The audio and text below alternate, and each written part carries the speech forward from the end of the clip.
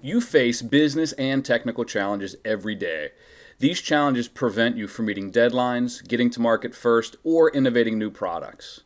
Autodesk Inventor helps you overcome these challenges with AnyCAD technology.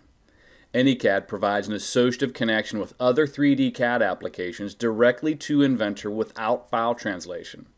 This reduces the need to maintain multiple CAD systems and eliminates manual file translation and updates and AnyCAD technology is provided as core functionality to Inventor at no additional cost. Now let's take a look at how AnyCAD works inside of Inventor.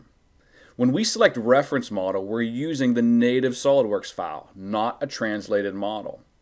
Next, we'll use the selective import options to choose only the components we want to work with. This eliminates the need to bring in unnecessary or unwanted components, saving you time and resources. Once you've placed the assembly, any design changes needed can be made back inside of SOLIDWORKS, and your design inside of Inventor automatically updates. What's more, any downstream data created such as drawings will also automatically update as changes are made to your 3D model, or changes made to metadata such as eye properties. AnyCAD technology eliminates the need to translate data and perform manual overrides. These workflows speed your overall design process, allowing you to exceed deadlines and get your products to market first. Innovation takes time, and AnyCAD technology inside Inventor gives you more time on your projects to develop new and innovative designs.